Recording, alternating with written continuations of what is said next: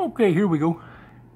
This is uh, going to be a, a run through on how we end up with uh, all this artwork in our security grills for the windows and handrails for around the slabs and uh, atrium. Uh, and this one is the security uh, on the air intake and exhaust out of the spider beam that goes out on the outer roof.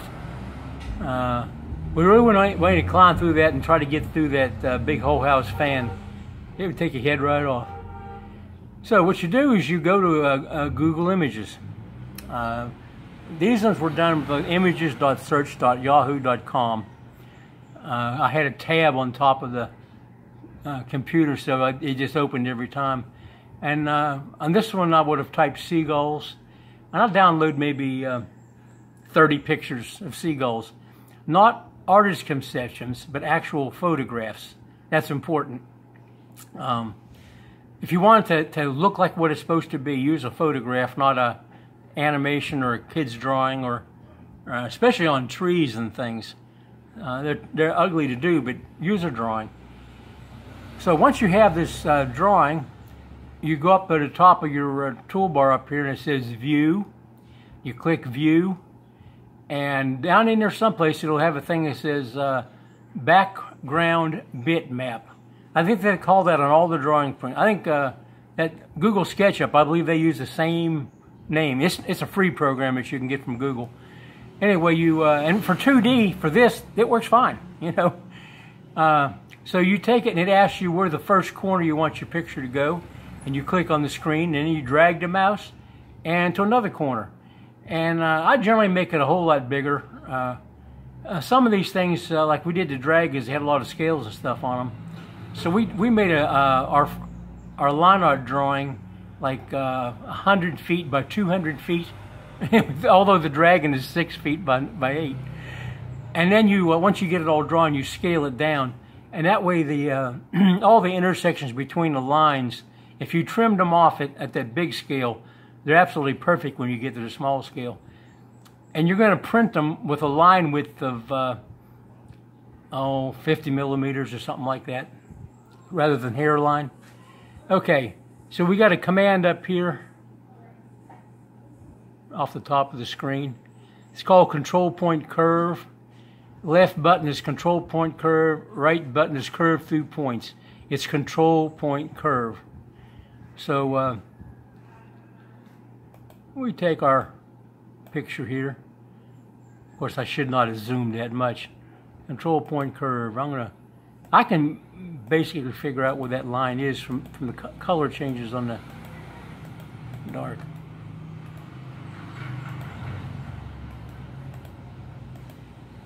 All we're doing is drawing in the feathers right now.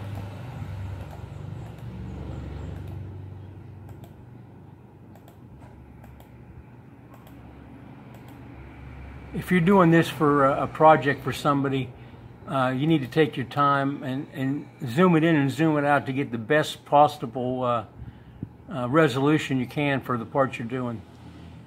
But uh, for a demonstration, all we need to show is you click on, a, on control point curve and you draw the lines. And if we want to see what our lines are, that's the ones I drew. I did this outline uh, when I put the picture up there. Uh, and this one was drawn pretty much the scale we're going to use it but uh, normally I would draw it much, much bigger. And then when I, uh, it's not so pixelated when I zoom it into the size I actually want. Okay, next thing you need is you need to measure the hole it's going to fit in. So what we got here is what we're going to call the frame, like a picture frame. It's, this is in inches, I'm sorry. Don't know what I was thinking. I, one click and I can change it to centimeters. You just you just scale uh, 3D from some point times 2.54 and then let it modify the dimensions. One click after you set two settings and bam, hold that. So I, I think in inches. Um, I think like like uh, Americans and British, we use inches. Anyway, it's 23 inches tall. That's um, eh, 60, 58 centimeters or something like that. It's 67 inches long. And uh, so that gives you the outside curve up here of, of, uh, of your window. Um,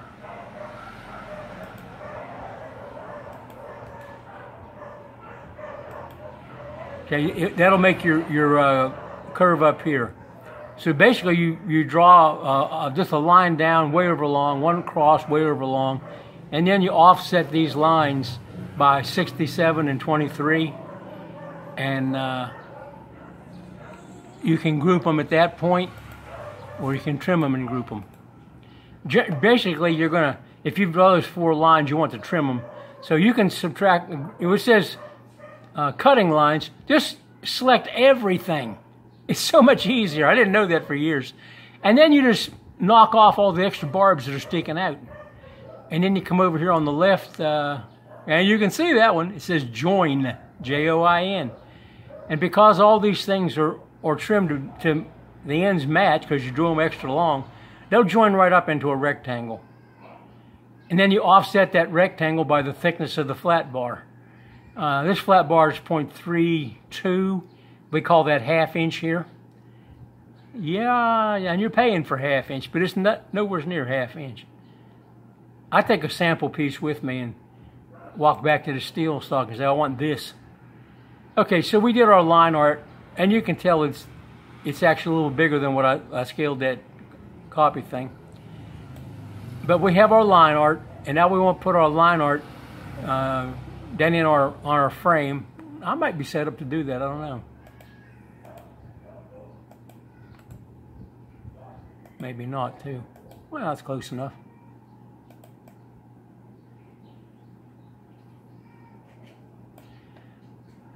Okay. Uh, I figure out uh, ahead of time uh, about what I want. It has to be small enough that you can't get a little kid's head stuck in your grill work. Uh, people visit, you know, and they, they look at it, and the whole place is basically a cage. They know they can't fall. They're between the stairs and the kid, and they ignore them. Not a good thing. 4.725. That's about 12 centimeters, thereabouts. You might might as well make an even number when you're doing that. But four and a quarter inches would take an awful small kid to wedge yourself into that. So what I do is I draw a line, and then I uh, I just draw a bunch of parallel lines. You can offset them one at a time, or you can do offset them in bunches called an array. The array rectangular number in the X direction, I picked like 30 because I want way more than I need. And the Y direction would be one, and the Z direction that'd be out to you, that'd be one. Then they ask you what the spacing is, only for the one that you actually put a number. And I put down uh, the 4.7265 number, and then it draws it, asks me if it's okay, and then it makes it permanent. What I do is I come in here and I surround with a box everything past the uh, frame down there and delete it. So I end up with these lines. And then I, I make the lines, uh, instead of having individual lines, I tie them together as a group. It just sort of glues them all to, to uh, something you can slide around. Now we're going to take and move this group of lines down. And then I copied this, uh, this bottom one actually off the top one. Uh, I just moved it down twice. you know. Okay, now it's not looking like, like a grill yet, but it's going to in a short time here. You go up here to the top where you can't see, to the um, menu for curve. Offset, no, we'll do extend curve. We're going to extend it by a straight line. So we don't have to deal with arcs. We don't want arcs. Uh, we don't want anything on the surface. We just want a straight old run-of-the-mill line. So extend the curve by line. Take this, we go down until it intersects. Intersect.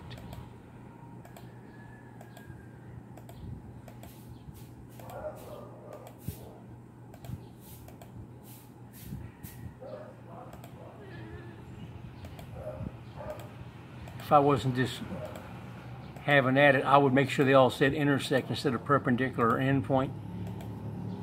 But uh, actually, since we don't print the uh, full drawing, uh, the guys take a um, piece of flat bar and they put their what they want their spacings to be, and they lay it on top, and then they mark the frame and the artwork uh, where they want it to be. Well, I won't put that little piece of line up there. I could put it up there, and then we'll we would use the uh, artwork to cut the line.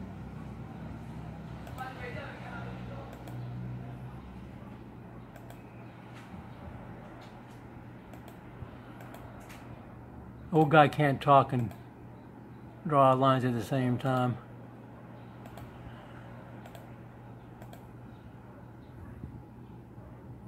Intersection. I didn't have to do anything with these because they're outside of the picture. Uh, these got to be separated, I'm sure. That'd give us a separate line. Nope, not yet. Because see, we drew right across this, uh, uh, these two lines up here. So uh, I got to separate those two lines. Now I got a single line. Okay. So now I want to come over here. It says trim. That's, that's the thing I'm going to use it for a knife blade and cut everything else. So I do is I trim off. Nope, nope, nope. Trim. Enter. And then object to trim. All you have to do to use these programs is learn how to read. You can make it um, have uh, 20 lines of previous commands up here. You can make it put all kinds of stuff down at the bottom. All I have at the bottom is what uh, things I want to be able to grab hold of to, uh, to make an exact point, you know, to 23 decimal places actually. And below that is the uh, coordinates. Um, like this is drawn right on the Z, the Z equals zero construction plane. But uh, when the when the pointer is on the screen, you notice this this Y is four, five, zero, minus five. Uh, we're at 4,138 on the x-axis. Hmm. Anyway, that's the only things I, I keep open. But if you can, if you read the this thing, like it says, select object to trim. The first thing it said was the cutting lines. So it says select cutting objects. Then it asks you for what you want to trim off. Uh, Parent intersections mean it didn't really intersect, but you're going to pretend it did. So we're going to take this, we're going to select those, select these. And then we'll probably come in here just so we can not bump it and screw it up. We're going to put them all back into a group. That way anything I click here stays together. And I can, um, I can move the drawing all around. And you thought we were done. Uh-uh. Okay. So we did one, two, three, four, five, six, seven, eight, nine, ten. Because we have 10 spokes. Uh, and once you have your uh, the thing we just did up here, you know, a complete drawing, you can group, um, well, you can group your line art. Well, that's all tied together. See here we have to do a little ungrouping first. Uh,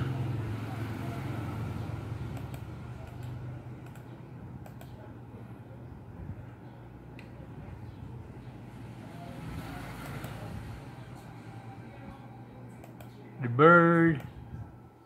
Uh, what did it say to do? Select objects to group.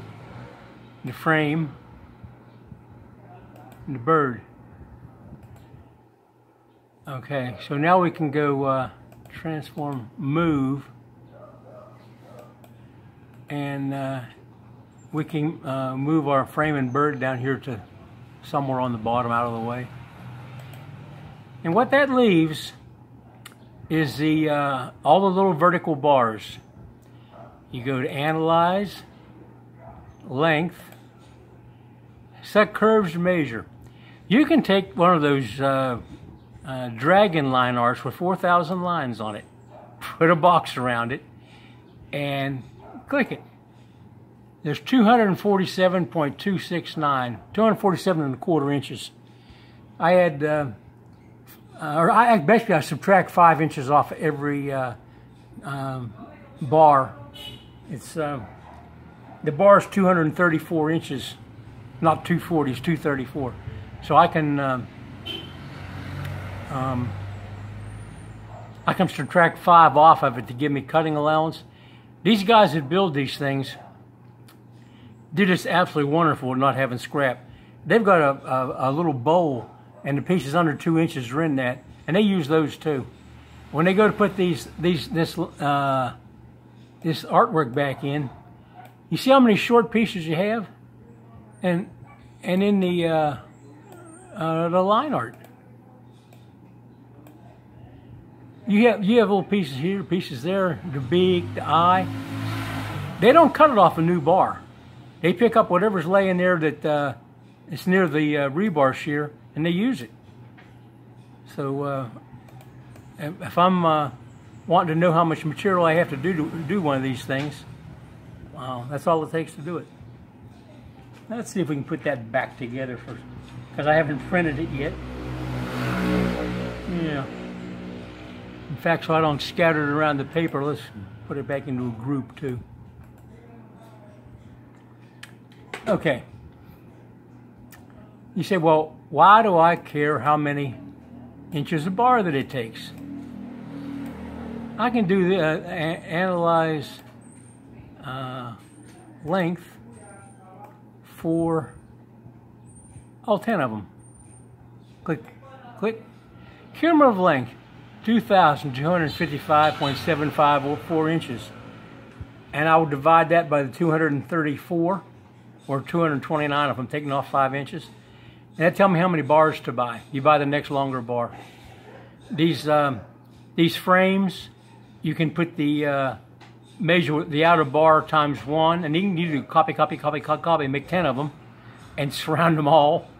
Or you can you can measure the length of one rectangular frame and times the number of frames, which is what we do when we have like uh, 55 on uh, one handrail thing alone and 35 on the upper deck handrail and uh, 30 on the atrium. And then the uh, uh, 12 big round windows and 11 small round windows. And then all the doors had artwork in them. Anyway, uh, what you do is hard the hard part, the only hard part, believe it or not, is picking the theme. You're going to make a whole handrail around somebody's uh, balcony or deck, or if it's got a flat enough roof that you can live up there, have tables and and put a beach umbrella on it and look down over the town. You want a handrail so you don't fall to the street. You know, a, a few uh, Lowenbraus and Heinekens, and it uh, doesn't look like very far to step, but yeah, it's bigger than it looks. So once you, you figure how many panels you want, how, how long you want them to be, so that uh, uh, at least your uh, longest wall comes out to an even, even number of panels. And if your short wall doesn't come out to exactly even panels, and you can add uh, two inches or take away an inch and a half to make them come out even, make the sides a different length. You'll never see it. Never see it. But then you have to have a theme. We did the uh, the living level floors. All the doors, there's 26 uh, doors on that uh, lower level. They're all uh, things you find around a reef, fish, that uh, which you find on tropical reef in the Philippines. Uh, we have a Maine lobster, which is not from the Philippines, and a North Atlantic squid, which are not from the Philippines. But the rest of them, there's 55 uh, uh, different windows all with, with uh, all different stuff, and then the handrails. We recycled the drawings on the uh, outer roof handrail uh, because they were uh, some of the pictures were the right size, and the printing cost. I think it's between 430 and 780 pesos per sheet per per artwork. That's a big percentage of uh, uh, of doing it. That is almost equal to the labor it takes to fabricate it, uh, minus the welding. The welding takes a day and a half a panel, but uh, to, to, bend the iron and get it tacked, it's about the same price as the as the print. Uh, the reason that we measure uh, uh, the amount of flat bar is because you have to fabricate the flat bar. The more flat bar that is in the drawing, the more you have to fabricate. So it's directly related to the cost. If people want an up uh, upfront price, uh, you know about how much you do in a day, and, and if you want to compare it to a similar one that you've already made, like it may be a fish rather than a bird, but about the same uh, density of lines on the artwork, you know, so much per square foot. You can pretty much gauge the labor off of uh, one that either looks like it and, and they all come out about two days, or uh, uh, one that was really ugly to do and it looks like that, well, add some to it. And if it's less, uh, we really don't uh, bother much about a half a day less because um, nobody gets one panel made. You're making 10, 12 of, of stuff to do around the roof, or maybe 20, 25 and 30. So uh, it's not worth to get too uh, tied up into complications like that. Anyway, you get you get a theme. So we had a uh, reef things on the first floor.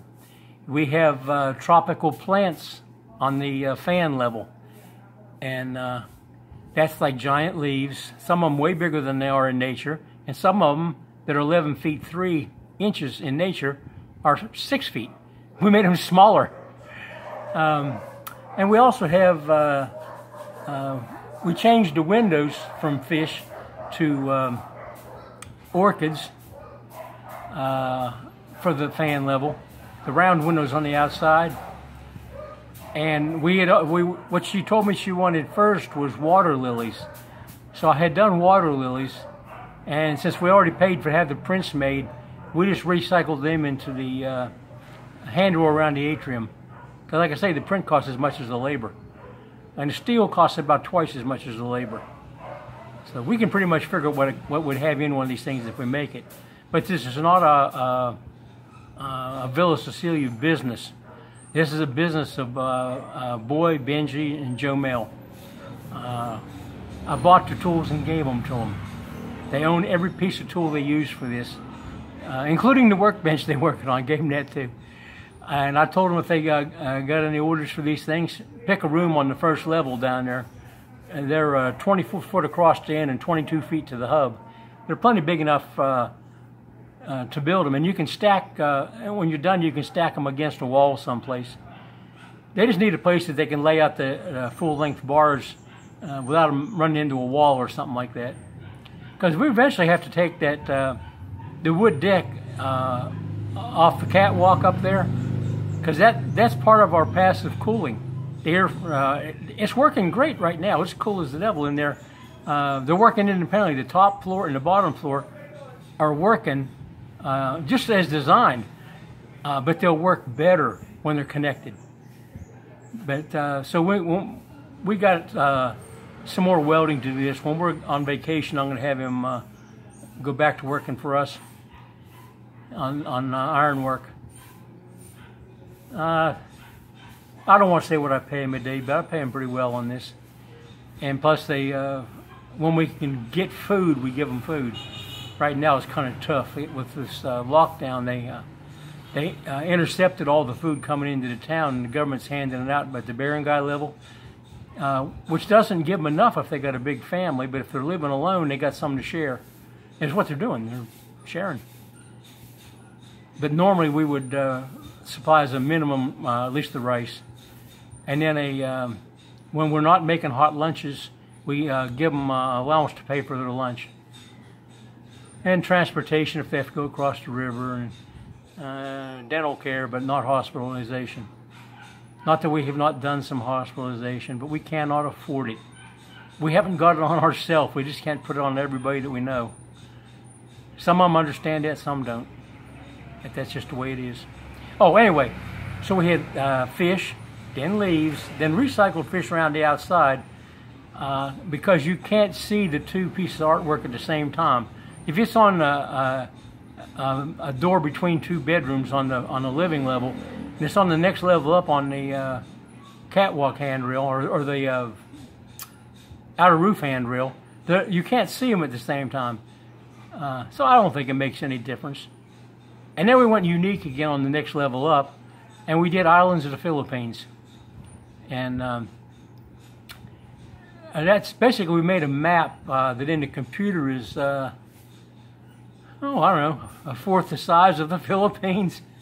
And we draw the maps. And the trick is to have to uh, have little outlying islands and stuff.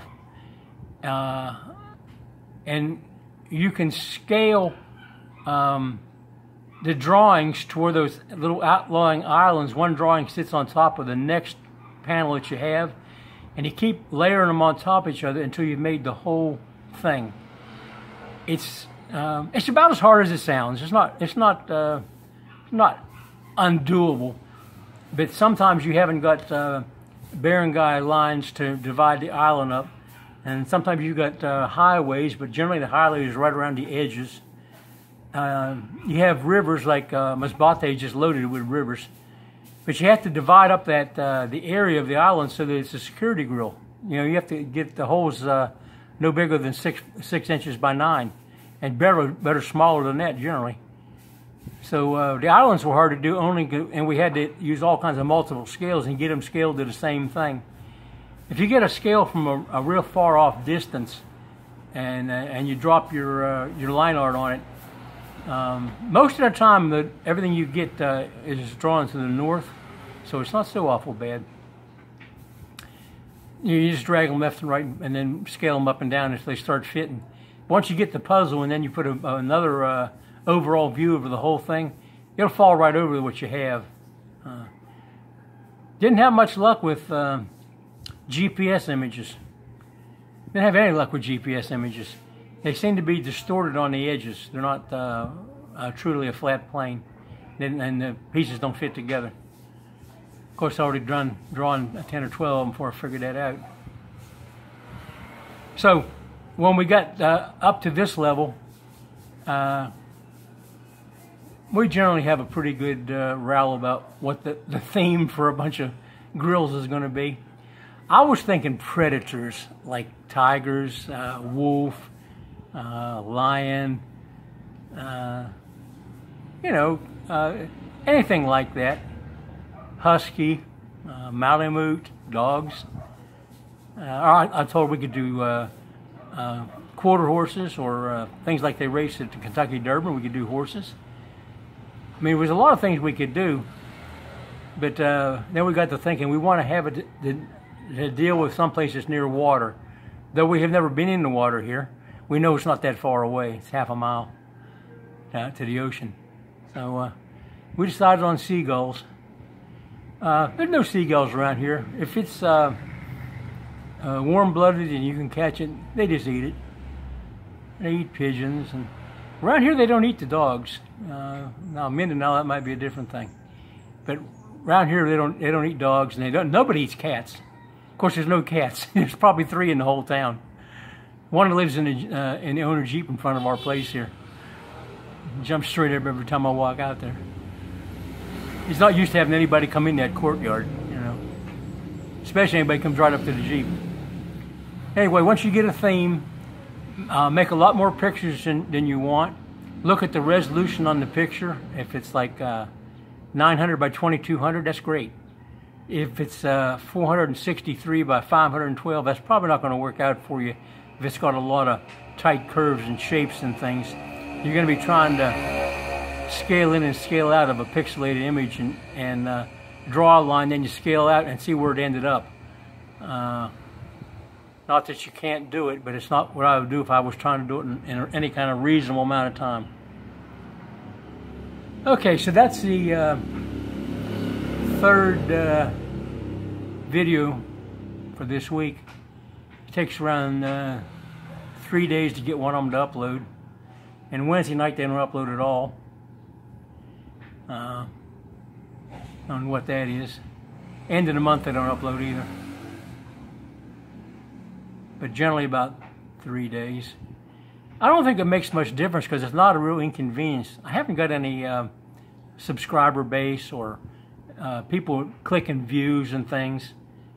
Uh, it's there if somebody was to search for a particular thing like security grills. there'll be half a dozen videos that say security grills. If you're talking poured concrete, there's things on concrete and rebar and foundations and you know. But if uh, if you don't want to look at it or don't find it, that's all right. If you uh, if you learned anything from this, uh, you can do a thumbs up. At least they'll know you were there. Uh, you can do a thumbs down if you hate seagulls. You know, if you think that all there's bird poop on your hood, well, you can say I don't like seagulls. Um, anyway, say hi to the Lord today, and we'll see you on the next video. If I can turn this off.